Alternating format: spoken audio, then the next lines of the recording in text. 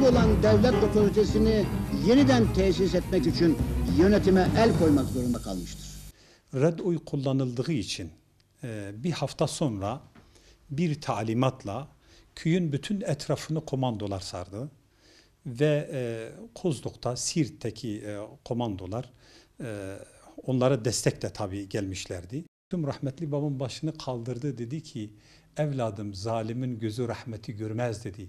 Beni sırtına al, beni götür okulun e, şeyine dedi, okulun havlusuna. Falaka'dan 60-70'e yakın böyle değnek vurdu ayağıma. Beni içeri aldılar. İçeride işkence yapmaya çalıştılar. Ve dünyanın en çileli işkencesi neyse o bağırışlar, çağrışlar bütün köylüler dışarıda duysun diye en şiddetli işkenceler yaptılar. Cunta'nın yaptıklarını işte böyle anlatıyor Abdülvasi Yaz. 12 Eylül askeri darbesi 32 yıl sonra Türkiye'nin dört bir yanında protesto edildi.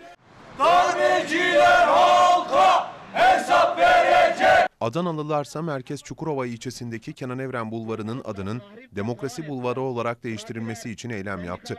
Dernekler, vakıflar, Başkent ise disk üyesi bir grubun oturma eylemine tanıklık etti.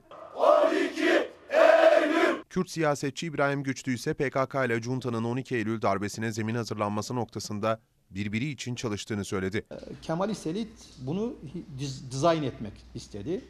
Ve Kürt hareketiyle ilgili Kürt hareketini içeriden kuşatmak için, Kürt hareketini amacından saptırmak için, hedefinden saptırmak için e, PKK'yı örgütledi. Devlet ve PKK Kürt hareketini dediğimiz bu strateji içinde provoka edemeyince ve Kürt hareketi provoka edilip darbe için yani yeni bir müdahale için e, gerekçe yaratılmadığında e, devlet kendi stratejisini daha ileri götürmeye başladı.